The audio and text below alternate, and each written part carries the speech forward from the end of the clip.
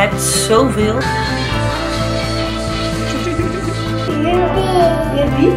Is het lekker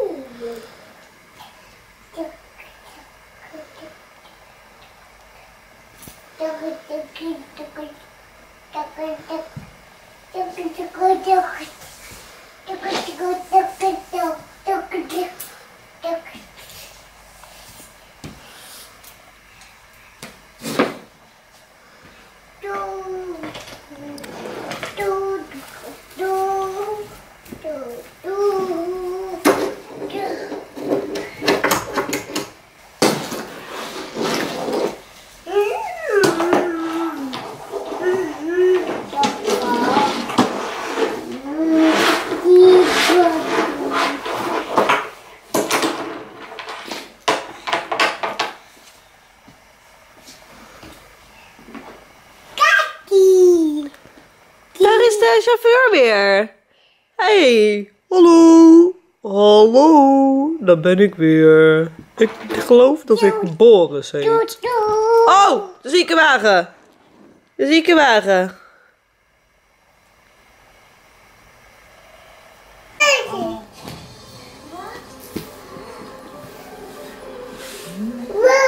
Wow, gaat hij nou vliegen?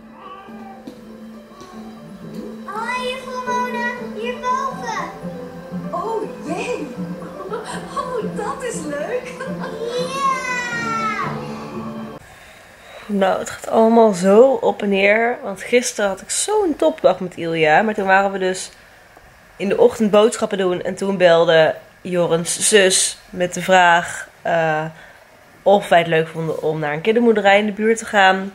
Dus zij heeft net een tweede kindje sinds een maand. Eh, dus zij, en haar oudste is eh, een jaar ouder dan Ilja, zeg maar. Ehm, dus toen ben ik met Ilja op de fiets gestapt, zijn we daarheen gegaan. Nou, superleuk. En daar kon hij lekker met zijn neefje Joa spelen. En ja, helemaal top. Nou, best wel lang gebleven. Toen naar huis gegaan.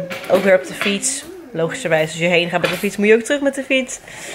En toen ehm, ja, was het echt best wel laat toen we thuis kwamen. Best snel gegeten, snel naar bed. En toen heeft hij drie uur, bijna drie uur geslapen. En toen was het, die, toen was het vier uur of zo. En toen ben ik lang met Pip gaan lopen. En met Pip en Ilja, zeg maar. Nou, en toen was Joren ongeveer thuis. Toen ging ik nog even met hem spelen. Nou, en die dag die vloog voorbij. Dat ging hartstikke goed. Maar vandaag is echt best wel moeilijk. We waren ook wel, hij was ook wel, ja, we zijn zijn zeven uur op of zo. En dan ja, heb ik het gevoel dat hij, als hij wat vroeger op is en dan heeft hij al gespeeld, dat hij dan gewoon na het ontbijt, ik weet niet, dan lijkt hij zich gewoon te vervelen. En als hij zich verveelt, dan gaat hij echt al het speelgoed dat hier enigszins ligt, gaat hij uit de kast halen. Wordt hier een enorme zooi. Dan is hij heel snel ontevreden, gaat hij heel snel huilen. Gaat hij een beetje bij Pip zitten kutten. Dus toen zijn we maar naar het stadshart gegaan. ehm, met hem. En toen lunchen en eten. Maar hij werd na lunchen en slapen. Maar hij werd na anderhalf uur heel erg overstuur wakker. Dus misschien had hij eng gedroomd. Dus ik weet niet meer. Hij was echt ontroostbaar. Ehm, dus toen heb ik hem gevoed. Wat ik echt nooit meer doe. Maar ik vroeg op een gegeven moment of hij wilde drinken. En zei hij ja. En toen pakte ik een flesje water. En toen werd hij boos.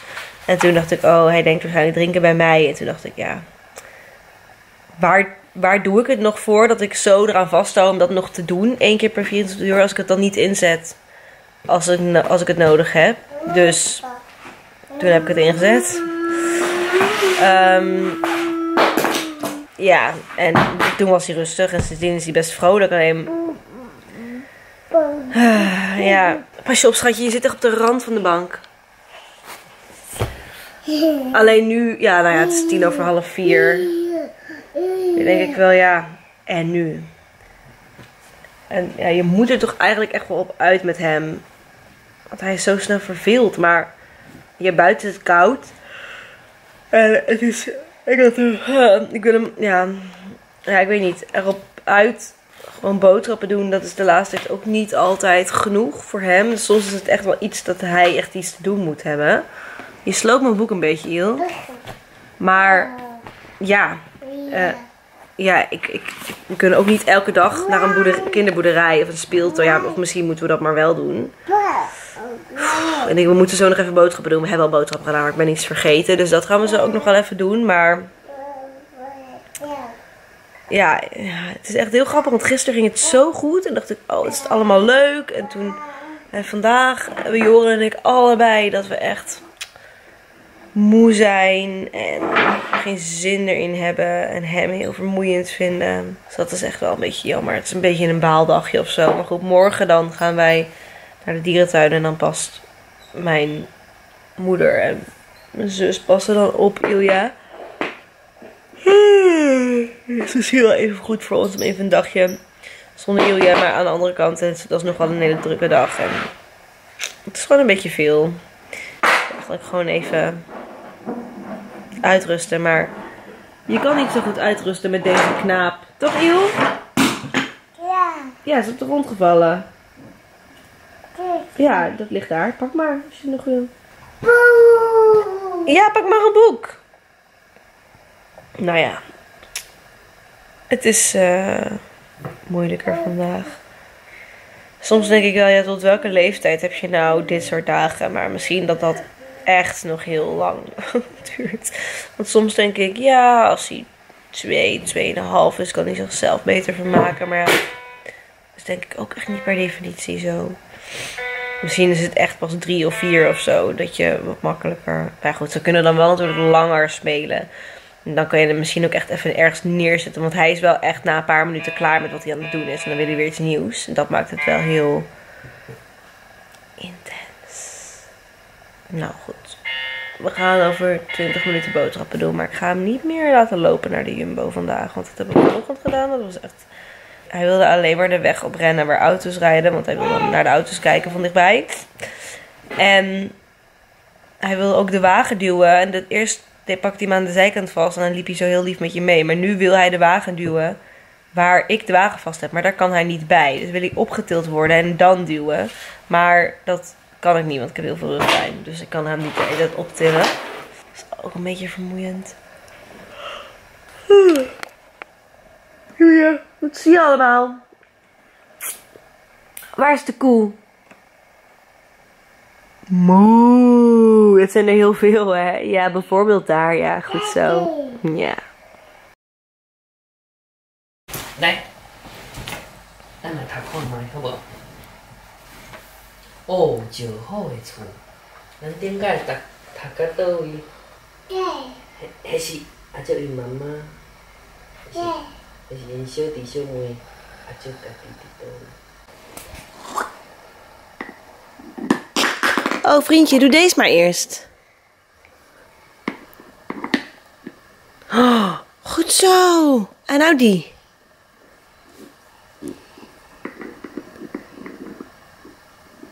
Ja, goed zo. Dat is hem, hè? Nou is hij af. Daar is de auto. Wil je met de auto spelen? Moet je hem even pakken? Pak maar. Hoppa! Goed zo. Oké. Ah, wat een moeizaam dagje vandaag. En ik begrijp niet zo goed waar het aan ligt. Nou. Ik ben aan de ene kant, ik weet niet, ik was gewoon super overprikkeld. Want het was gewoon zo'n zooi hier in huis. En er moest zoveel gebeuren. Ook nog qua werk. Ik moet nog drie dagen werken.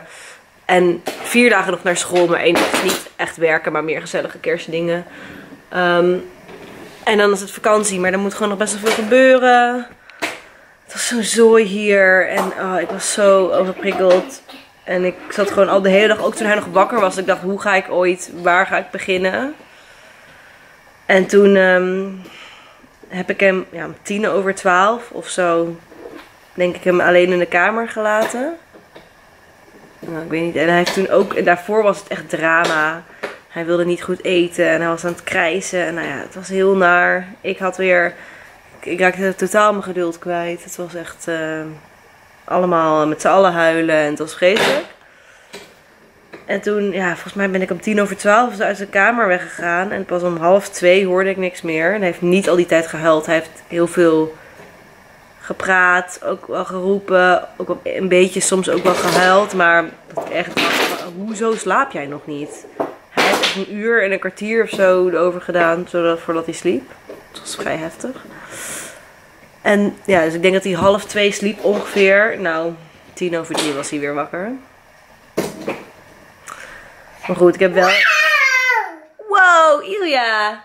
Zo mooi.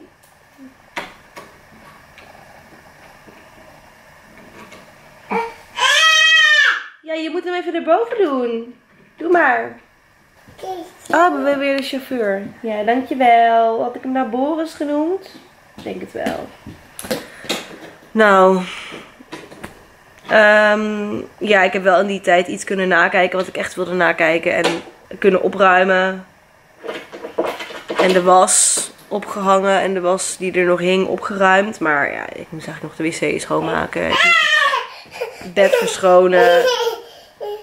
En ik denk al- altijd van heel veel dingen, nou dat doe ik dan wel vanavond. Maar vanavond moet ik ook nog een video bewerken, zodat er vanavond weer een video klaar staat. Nou ja, ehm. Oh ja, en toen werd Ilje dus wakker. Toen deed hij hetzelfde als dat hij zaterdag deed. Dan wordt hij dus wakker en dan is hij alleen maar keihard aan het huilen. En dan wil hij ook niet uit zijn bedje getild worden. Dan blijft hij maar met zijn hoofd op zijn handjes alsof hij, alsof hij moe is en door wil slapen. Maar hij is alleen maar aan het huilen. Ja, ik heb zaterdag heb ik hem dus toen gevoed. Maar ja, ik wilde dat, ik ga daar geen gewoonte van maken. Dus ik heb dat nu niet gedaan. Ik dacht, ik ga hem op een andere manier rustig krijgen. Dus ik heb wat muziek. Ik heb hem eerst weer alleen in bed gelaten. Gewoon met de deur open en het licht aan. Maar ik ben gewoon weggelopen. Want ik, ja, ik, ik dacht, nu gaan we gewoon weer verder waar we zijn gebleven. Hij krijsen. Ik kan er niet tegen. Ik raak mijn geduld kwijt. Dus ik ben weggelopen. En toen bleef hij huilen. En toen heb ik uiteindelijk ook iets van muziek aangezet. En toen werd hij wel rustig. En toen heb ik hem met hem naar buiten gekeken. Toen kon ik hem wel optillen. Alhoewel die ging weer, werd hij weer boos. Met hem naar buiten gekeken, naar de auto's. Dat helpt altijd wel. Het is een beetje rustig geworden. Maar nou ja, nu is hij pas echt rustig geworden. Nadat we echt drie of vier afleveringen van Juf Roos hebben gekeken. En iets hebben gegeten. Maar ja, ik vind echt dat ik veel te veel tv met hem kijk. En ik vind, ja... Maar het was echt, het was echt niet leuk. En dan is hij zo, dan is hij zo overstuur. En ik weet gewoon niet wat er is. Wow, Julia! Ja, nu kan hij er bovenop. Ja, ik snap dan gewoon echt niet wat er is. Het is echt heel vermoeiend. Wat is er, meneer? Ja, die moet ook nog.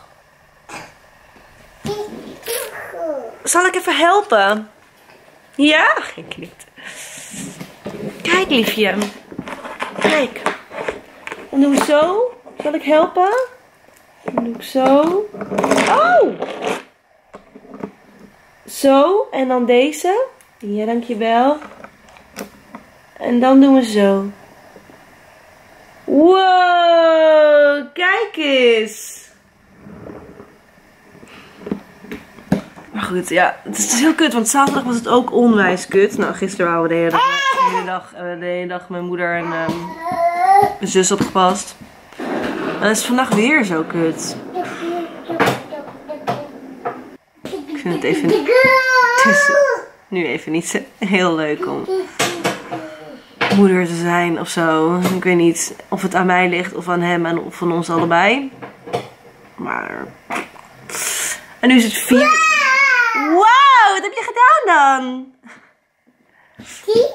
Ja, waar gaan de auto's? Ga je de auto's allemaal daar neerzetten? Nee. Oh, niet? Oh, je bent toch een rijtje aan het maken? Nee, dat doet je neefje volgens mij ook altijd. Nou ja, neefje. Je grote neef. Wow, Ilja, is het een parkeerplaats? Net als bij ons voor het huis. In ieder geval is het, het is vier uur, maar Joren zei dat hij best wel laat thuis zou zijn. Dus ik moet echt nog wel even overleven. En moeten we echt wel eventjes eh, nadenken wat we gaan doen. Dat hij nu ook zo vaak in de wagen niet tevreden is. Ja, het is echt... eh,